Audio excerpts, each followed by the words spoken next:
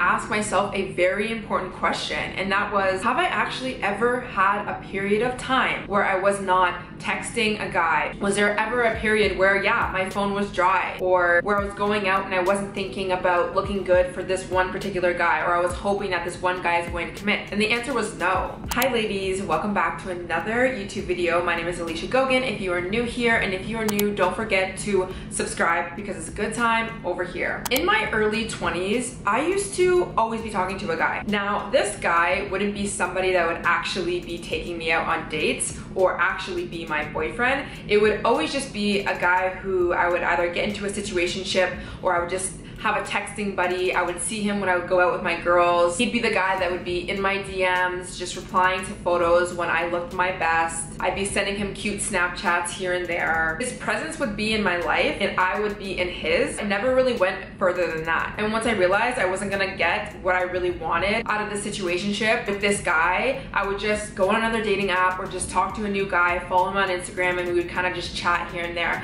And the cycle would continue. And what I started to realize was having a roster of guys that were never really serious in my life, although I wanted something, I always wanted something serious and I was always looking for a boyfriend, heavily impacted my ability to actually be happy being single. Actually be happy without a title, without an actual boyfriend, and just be on my own. I had to ask myself a very important question, and that was, have I actually ever had a period of time where I was not texting a guy, where I didn't have my mind just a little bit or a lot on some type of man in my life? Was there ever a period where, yeah, my phone was dry or where I was going out and I wasn't thinking about looking good for this one particular guy or I was hoping that this one guy is going to commit? Have I ever had a period in my life where that wasn't a thing? And the answer was no. I started to realize I was actually very unhappy with having no man in my life, not talking to anyone. And I wasn't happy when I would go home and not be able to talk to anyone. I was not happy when I would go out with my girls and I didn't have that one guy that I could potentially go home with or drunk text or just have my mind clinged on to him to make me feel something, to give me that little bit of a dopamine kick that I really needed. And I also started to realize that this cycle, this wasn't making me happy. Men who weren't committing to me weren't making me happy. I wasn't happy being alone and I wanted to change that. I wanted to be okay with not having a guy to text at nighttime, not worrying if he was gonna respond back to my DMs or not, if he was going to open my message or look at my photo and comment on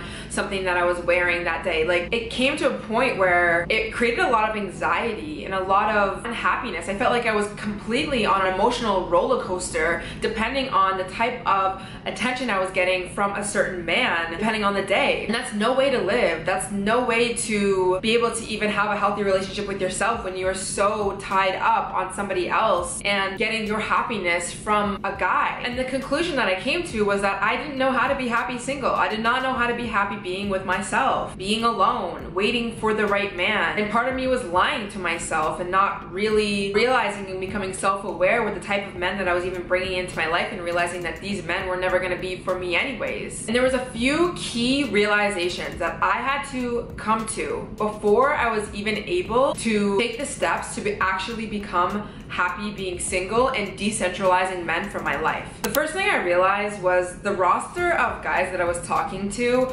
were all just a manifestation of my low self-worth and my low self-esteem. The men who weren't committing, the men who were toxic, those type of men weren't serving me whatsoever. They weren't healthy for me, but I was picking these men because I was in a very low self-worth place. Another thing I had to realize was my low self-worth wasn't going to get any better unless I committed to having a healthier relationship with myself. Another thing that I really, really lacked was patience and the ability to wait for long-term gratification. I was a girl who was so impatient with my goals and wanted everything right now, right at this moment. And that also meant attention from guys. Somebody always in my phone just making me feel happy about life right now, even though the long-term effects of actually having attention from a low quality man actually hurt me. It's important for you to know that being in your single era or taking some time off of just talking to men and decentralizing men from your life doesn't have to last forever, nor should it.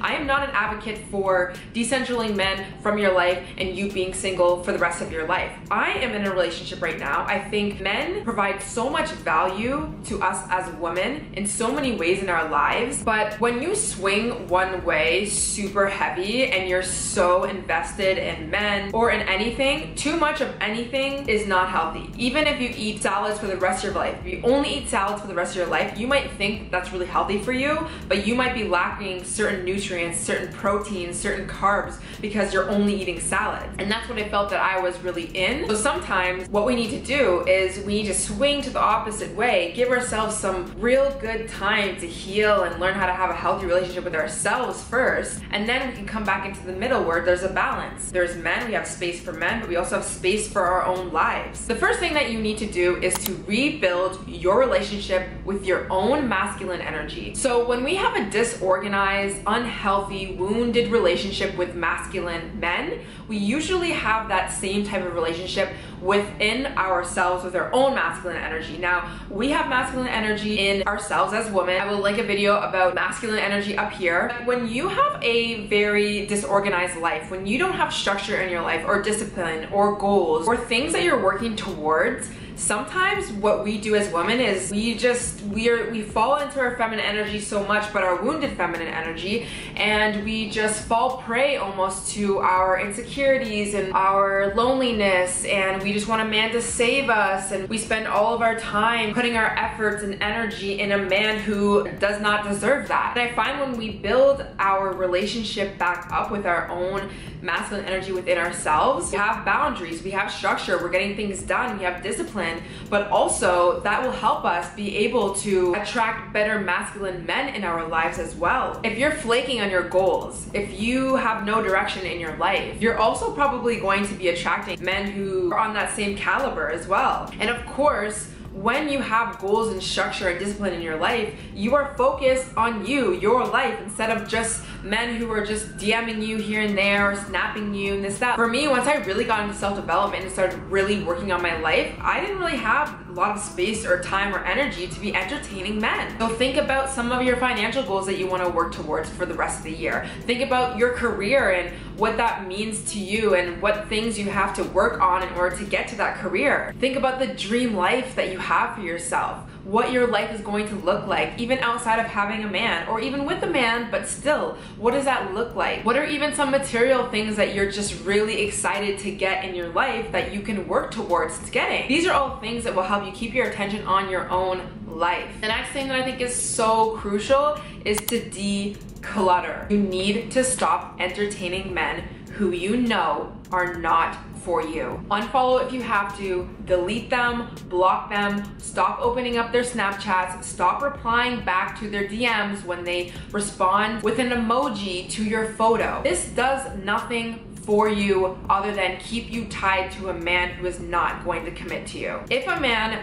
wants to pursue you and he likes you and he wants to take you on dates, it will be abundantly clear. So if there's a man right now living in your phone and you're confused and you don't know if he's really interested in you, you're waiting for him to take you out, I'm telling you right now, the answer is he's not going to. He's going to waste your time, doesn't know what he wants, and he's probably just a manifestation of your current low self-worth. I know it's harsh, but you need to know this because I used to do this all the time. I used to waste so much of my energy and my time entertaining men who were not going to commit to me. Men are simple creatures. If he wanted to, he would.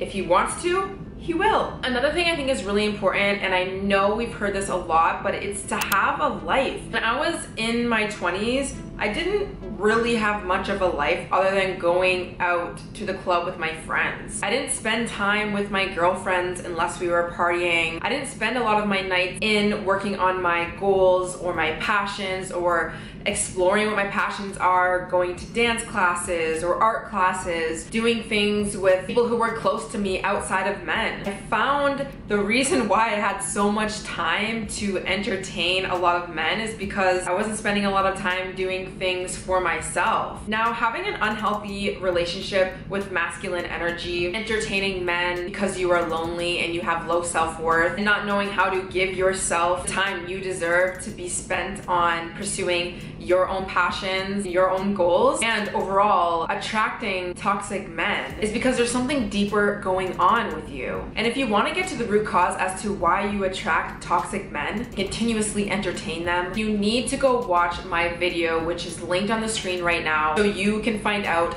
what to do about this. I hope you ladies enjoyed. Make sure to subscribe for more videos. I post every single week on self-improvement, women's wellness, dating advice, soft life, feminine energy, all that good stuff. I love you guys so much and I'll see you in the next one. Bye!